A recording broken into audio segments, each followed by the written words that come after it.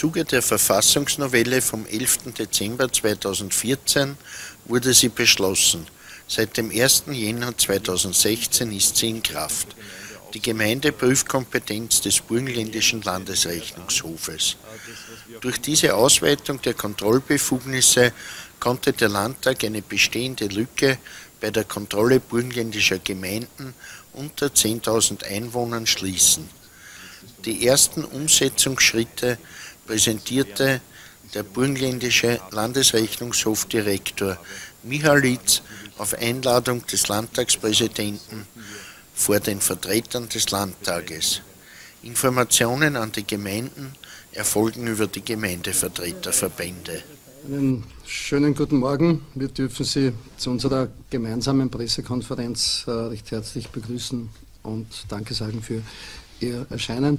Darf recht herzlich äh, den Direktor des Burgenländischen Landesrechnungshofes, Magister Andreas Michalitsch, willkommen heißen.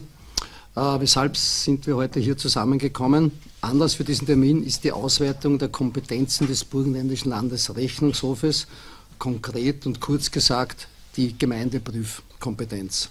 Beschlossen wurde diese im Rahmen der Änderung des Landesrechnungshofgesetzes, die äh, mit der Novellierung der Burgenländischen Landesverfassung im Dezember 2014 einherging. Und jetzt eben mit 01.01.2016 ist diese Novelle des Rechnungshofgesetzes de facto in Kraft getreten und für die Umsetzung bereit. Im Anschluss an die letzte Sitzung des äh, Burgenländischen Landtages habe ich ähm, den Direktor des äh, Burgenländischen Landesrechnungshofes, Magister Micholitsch, eingeladen, die Vertreter des Landtages im Rahmen einer erweiterten Präsidiale, sprich nicht nur die mit Clubstatus ausgestatteten ähm, Parteien, sondern auch die anderen äh, hierher zu kommen, um eben äh, über die Kompetenzausweitung zu informieren. Und heute möchten wir Ihnen äh, und in weiterer Folge auch natürlich der Öffentlichkeit diese Neuerungen und die Vorgehensweise, die dann der Herr Direktor an Sie weitergeben wird, äh, eben darlegen.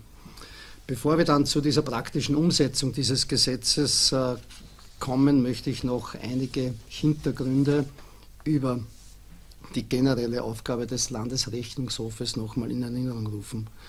Der Rechnungshof fungiert und als dieser wird er auch äh, natürlich die Gemeinden überprüfen, als unabhängiges und weisungsfreies Organ des Burgenländischen Landtages. Und er ist verantwortlich für die Prüfung der Gebarung des Landes, also für alle Tätigkeiten, die schlussendlich äh, zu Einnahmen oder aber auch zu Ausgaben führen. Und somit unterstützt er natürlich auch die Gesetzgebung in Form von Prüfberichten, auf deren Grundlage er konkrete Empfehlungen zum einen für Verbesserung der Qualität, zum anderen aber auch für Einsparungen oder aber auch für mehr Einnahmen abgibt. Bei manchen geprüften Stellen äh, ist das natürlich auch mit einem Aufwand äh, verbunden, weil es klarerweise mehr Arbeit bedeutet. Aber wir wissen, dass diese Arbeit sich allemal äh, bezahlt macht, weil eben äh, im Rechnungshof und äh, dahinter stehen natürlich auch Personen, sehr viel Know-how steckt und die allemal zum einen natürlich oft zum Abstellen von Missständen führen, aber auch zum anderen zu Qualitätsverbesserungen, aber auch zu neuen Strukturen. Was ist jetzt äh, die Neuerung, die Gemeindeprüfkompetenz eben mit 1.1. dieses Jahres, äh, an dem eben dieses neues Landesrechnungshofgesetz in Kraft trat. Bis dato durften lediglich Gemeinden mit mehr als 20.000 Einwohnern geregelt im äh, Bundesrechnungshofgesetz geprüft werden. Für das Burgenland natürlich äh, eine sehr interessante äh, rechtliche Festlegung, weil es äh, ja keine Gemeinde im Burgenland gibt, die mit so vielen Einwohnern eben ausgestattet ist. De facto hat das bis jetzt eben geheißen, dass keine burgenländische Gemeinde eigentlich geprüft werden konnte, ab durch das äh, Bundesrechnungshofgesetz. Es konnten nur Gemeinden unter 10.000 Einwohner de facto geprüft werden, auf Ersuchen der Landesregierung. Das war die gesetzliche Regelung, die wir im Bundesrechnungshofgesetz äh, gehabt hatten und dies über beinahe 80 Jahre lang. Jetzt, wenn wir von der Novelle des burgenländischen Landesrechnungshofgesetzes sprechen, dann ist eben es äh, ab 1.1. möglich, die Prüfung der Gebarung von Gemeinden mit weniger als 10.000 Einwohnern sowie die Prüfung der Gebarung von Stiftungen, Fonds und äh, Anstalten, die von Organen einer Gemeinde mit weniger als 10.000 Einwohnern verwaltet werden.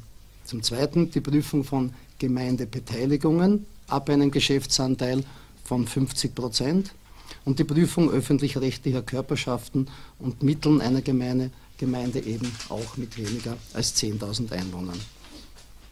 Außerdem wurde ein Abstimmungsmodus äh, in dieser Novelle neu formuliert, nämlich die Abstimmung der Prüftätigkeiten. Und im Zuge der Neuerungen wurde eben auch festgelegt, dass es zu keinen Doppelprüfungen kommen soll, also um diese zu vermeiden, soll eben der Landesrechnungshof seine Prüfungstätigkeiten mit jener eben des Landes im Bereich der Gebarungsprüfungen der Gemeinden abstimmen. Wie kann ein Prüfverfahren eingeleitet werden? Der Burgenländische Landesrechnungshof führt Prüfungen entweder initiativ durch, das heißt aus eigenem, oder aber auf Ersuchen der Landesregierung oder auf Beschluss des Landtages. Prüfungen auf Ersuchen der Regierung bzw. auf Beschluss des Landtages dürf, dürfen nur je zweimal jährlich eingeleitet werden. Ersuchen der Landesregierung sind nur bei Gemeinden zulässig, zulässig in denen vergleichsweise Auffälligkeiten festzustellen sind, Entwicklungen, Negativentwicklungen bei Schulden oder eben Haftungen.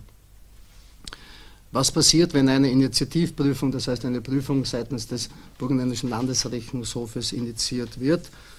Er übermittelt dann seinen Bericht an den Gemeinderat, den Bürgermeister sowie die Landesregierung.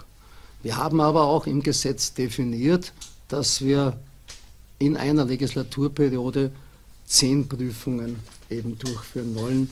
Das heißt, hier haben wir eine Obergrenze festgelegt.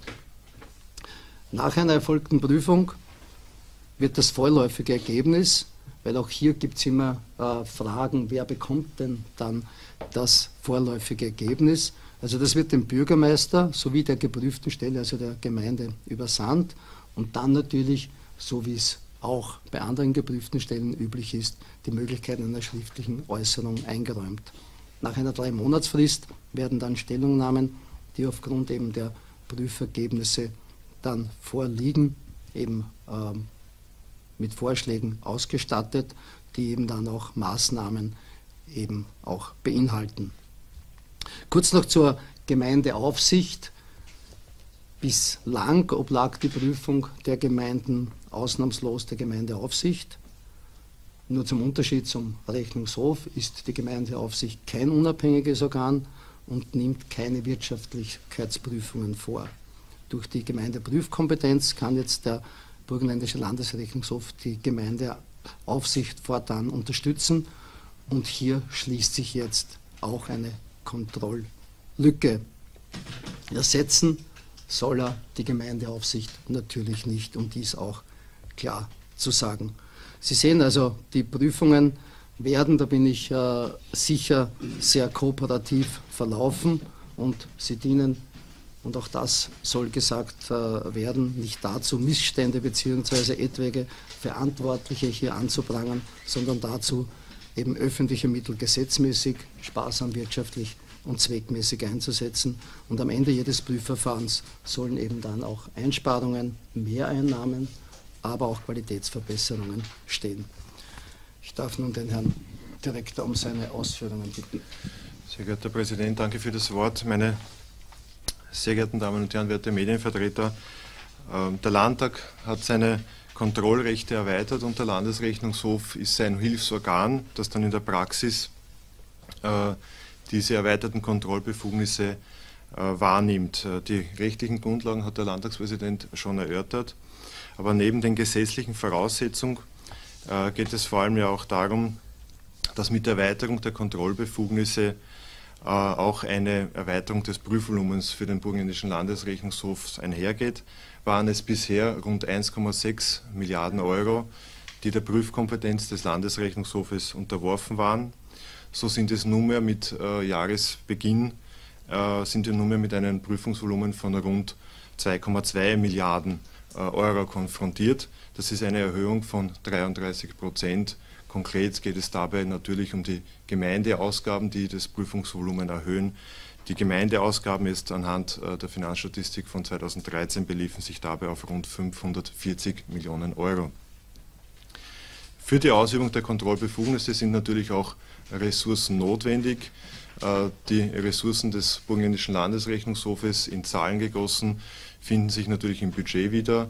Wir haben äh, aktuell ein Budget von rund einer Million Euro, ähm, davon 90 Prozent für den äh, Personalaufwand und 10 Prozent für den Sachaufwand zur Verfügung.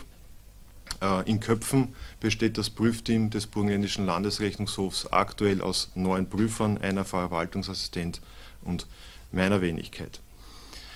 Neben den gesetzlichen Voraussetzungen äh, und äh, den zur Verfügung stehenden Ressourcen geht es natürlich auch darum, dass wir unsere Kontrollbefugnisse ausgewogen wahrnehmen. Das heißt konkret, dass wir neben der Prüfkompetenz der Gemeinden auch die gesamte Gebarung des Landes, die Dienststellen, Ämter, Behörden sowie äh, die Landesbeteiligungen unter unserer Prüfkompetenz haben. Das heißt, hier gilt, gilt es darum, ausgewogen und nicht einseitig sich nur auf ein Prüfgebiet äh, zu konzentrieren, sodass wir eventuell nur die Landesverwaltung oder nur Landesbeteiligungen oder nur Gemeinden prüfen würden. Daher ist es natürlich äh, oberstes Gebot mit erhöhter Sorgfalt äh, eine risikoorientierte Auswahl der Prüfkandidaten äh, zu treffen und das bedeutet konkret auf Bezug die Gemeinden, der Gemeinden jetzt, dass wir uns dazu entschieden haben, nach einem Bewertungsschema ähm, vorzugehen, das äh, nach objektiven, klar nachvollziehbaren äh, Kriterien, Fakten und Indikatoren äh, aus der, in seiner Auswertung dann die zehn Prüfkandidaten aus den 171 Gemeinden ergibt. Äh, die Struktur äh, des Bewertungsschemas äh, sieht folgendermaßen aus, dass es aus fünf Indikatoren besteht, die jeweils gleich zu je 20 Prozent ähm, gewichtet sind. Es äh, wird dann noch die Möglichkeit geben, einen zusätzlichen Indikator für sogenannte Spezialaspekte ähm, zu berücksichtigen. Und jeder Indikator ist nochmals unterteilt in drei Kategorien.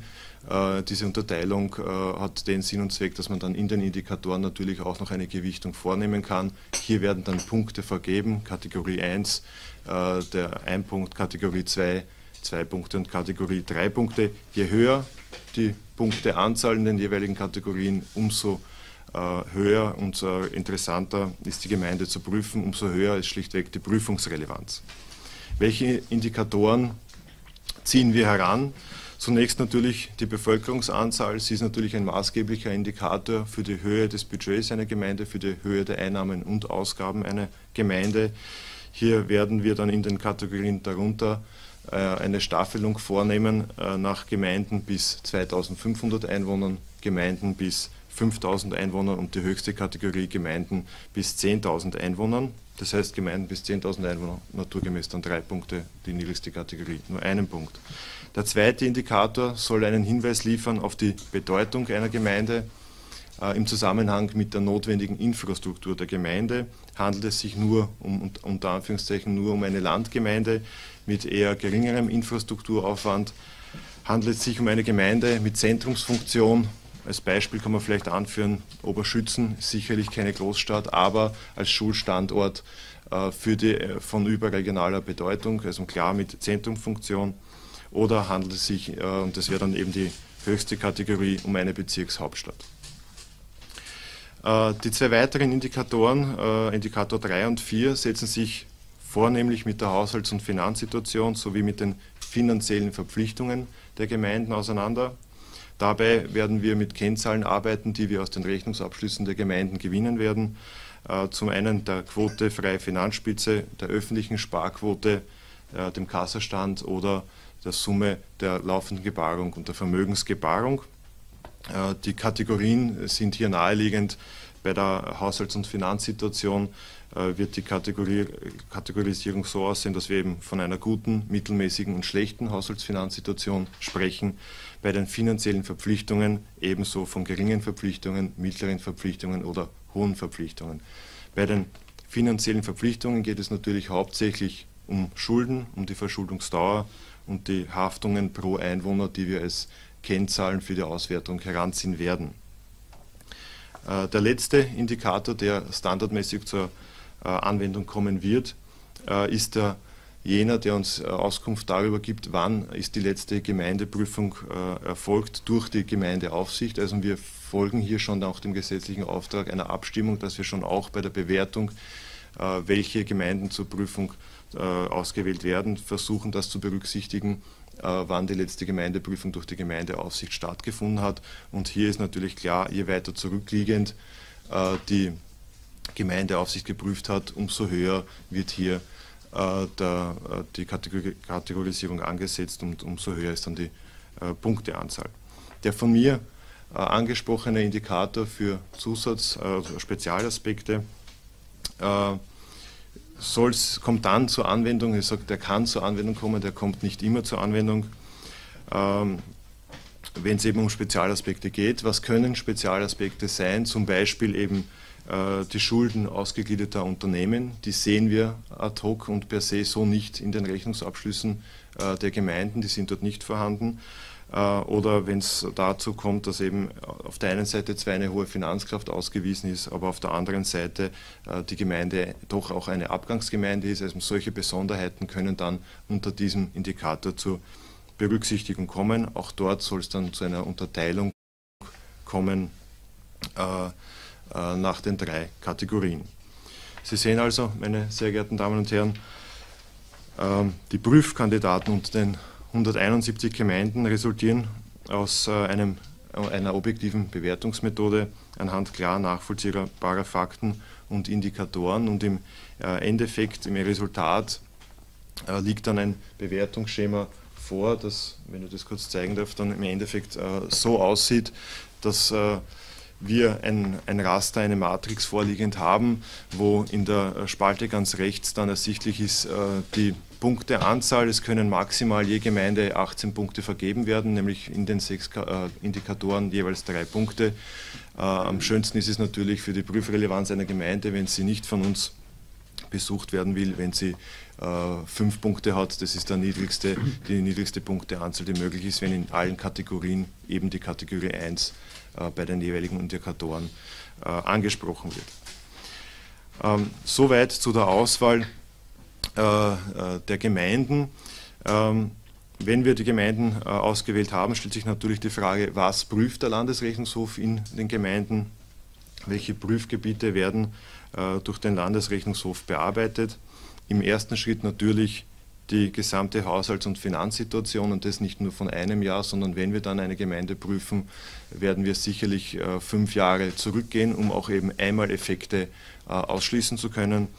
Was gehört alles zur äh, Haushalts- und Finanzsituation, die Rücklagen, Fremdfinanzierungen, Haftungen, Schuldenstand? Äh, natürlich befassen wir uns auch mit klassischen Feststellungen zur Gebarung, äh, den Rechtsgrundlagen der Entwicklung eben im Periodenvergleich, zum Beispiel eben auch der mittelfristigen Finanzplanung und dem Anlagevermögen. Der Landesrechnungshof wird sich sicher auch auseinandersetzen äh, mit Ausgaben im Bereich der öffentlichen Einrichtungen. Äh, konkret bedeutet es eben im Bereich der äh, Wasserversorgung, Abwasserbeseitigung, Altersbetreuung, Kindergarten, Bauhof etc. Wir werden uns natürlich auch äh, auseinandersetzen und es genau unter die Lupe nehmen, äh, die Abwicklung von Bauvorhaben, Umbau von Schulgebäuden zum Beispiel, Erweiterung von Kindergärten, Straßenbauvorhaben. Und wir werden äh, natürlich auch uns auseinandersetzen äh, und äh, mit den Beteiligungen, mit den Unternehmen, an denen Gemeinden beteiligt sind. Äh, die werden wir natürlich auch dann einer Prüfung unterziehen. Das beginnt mit Einsichtnahme in Jahresabschlüsse. Äh, wir befassen uns dort sicher dann auch mit der Vermögens- und Ertragslage, aber auch mit den rechtlichen Grundlagen, die dahinter steht, eventuellen Pacht-, Miet- und Baurechtsverträgen. Wie prüfen wir diese Prüffelder, die ich jetzt exemplarisch aufgezählt habe? Äh, so wie es im Gesetz geregelt ist, nach den Prüfmaßstäben, die im Gesetz verankert sind, äh, das ist die Rechtmäßigkeit, die ziffermäßige Richtigkeit ähm, der Rechenwerke, die Wirtschaftlichkeit, Zweckmäßigkeit und Sparsamkeit. Kurzum, der Landesrechnungshof prüft einerseits, was getan wird, um eine Aussage treffen zu können, über die Effektivität und der Landesrechnungshof prüft, wie es getan wird, um eine Aussage treffen zu können über die Effizienz äh, der verausgabten Mittel. Äh, zum Prüfungsablauf, das hat der Landtagspräsident schon kurz angeführt, wir werden das natürlich so handhaben, wie es im Gesetz und in unserer Geschäftsordnung äh, geregelt ist. Hier wird es kaum Abweichungen zu den üblichen Prüfungen, wie wir sie bisher schon abführen, ähm, geben. Das Einzige, worauf wir uns intern im Landesrechnungshof einstellen, ist natürlich, dass die Prüfungsdauer bei Gemeinden äh, vermutlich etwas länger dauern wird, ganz einfach, weil die Gemeindeverwaltung äh, in der Regel ja sehr schlank aufgestellt sind und äh, nicht äh, vier, fünf Mitarbeiter ausschließlich in der Verwaltung äh, tätig sind und uns dann auch als Auskunftspersonen und ähm, zur Verfügung stehen und uns äh, nur ausschließlich eben äh, Unterlagen aufbereiten können, die wir für die Prüfung benötigen werden. Unsere Empfehlungen, unsere, das Ziel der Prüfung im Endeffekt ist natürlich auch immer eine erhöhte Transparenz und Aussagekraft, äh, eine, ein höherer Informationsgehalt und eine verbesserte Vergleichbarkeit auch unter den Gemeinden zu gewinnen und das eben durch eine möglichst einheitliche Datenstruktur, verbesserte Steuerung eine vollständige und möglichst getreue äh, Darstellung der Vermögens- und Finanzlage.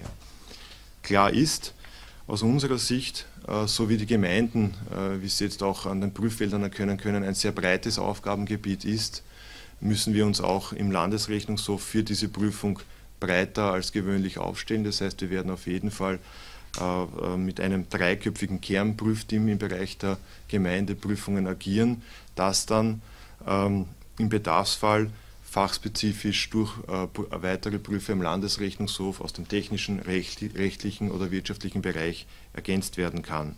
Ziel für den Prüfprozess, für den Ablauf einer Prüfung ist es aus unserer Sicht auf jeden Fall, äh, dass wir die Prüfungsabwicklung effizient gestalten, effizient für uns als Prüfer, aber natürlich auch effizient äh, für die geprüften Gemeinden. Abschließend äh, noch ein Satz zum Status quo und da greife ich vielleicht schon der einen oder anderen Frage voraus. Ähm, ich kann Ihnen heute nicht zum gegenwärtigen Zeitpunkt sagen, wer die erste Gemeinde ist, die wir äh, prüfen werden, weil wir eben gerade dabei sind, dieses Bewertungsschema, so wie es jetzt eben vor Ihnen liegt, äh, zur Auswertung zu bringen und dabei natürlich die Indikatoren 3 und 4, also die Indikatoren zur Haushalts- und Finanzsituation und der Indikator für die finanziellen Verpflichtungen, die erfordern hier doch auch eine, äh, ein höheres Arbeitspensum. Warum? Weil wir eben hier Rechnungsabschlusskennzahlen auswerten müssen und äh, auch berechnen müssen und das eben von 171 Gemeinden und nicht nur eben für ein Jahr, sondern für zumindest drei Jahre, um auch hier eben zu vermeiden, dass Einmaleffekte wie zum Beispiel äh, die Einnahmen, die einzelne Gemeinden gehabt haben aus dem Verkauf ihrer Pegasanteile, auch hier ausmerzen zu können. Ziel ist es im Endeffekt, und dahingehend wird sich unser Bemühen richten, dass wir äh, noch im ersten Quartal 2016 äh, die erste Gemeindeprüfung einleiten können. Ich hoffe, äh, dass uns äh, das gelingt und ja, unser Bemühen wird sich dahingehend richten. Soweit äh, zu meinen Ausführungen, stehen natürlich für Fragen gerne zur Verfügung.